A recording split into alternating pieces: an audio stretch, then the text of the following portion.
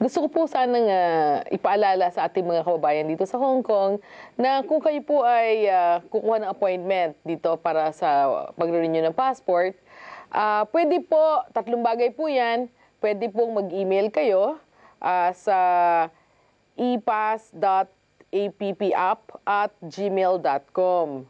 Ang pangalawa po, pwede po kayong tumawag sa amin dito. Sigurado po may sasagot po dyan.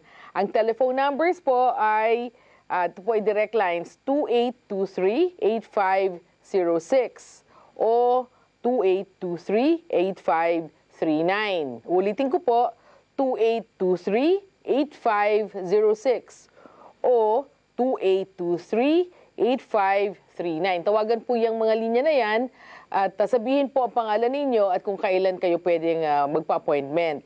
Uh, iwasan po sana natin ang sa linggo dahil napakarami hong, yan ho laging puno. But uh, kung makakuha kayo ng appointment, sisiguraduhin ko sa inyo na bibigyan kayo ng uh, chance uh, na makuna, no, matawag dito, uh, mag, uh, magpa-photo uh, capture.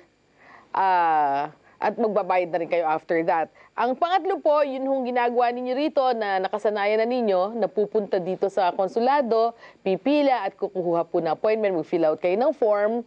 Yun ho, pag nakakuha kayo ng appointment, babalik ko kayo kung kailan yung schedule ninyo. Yun po.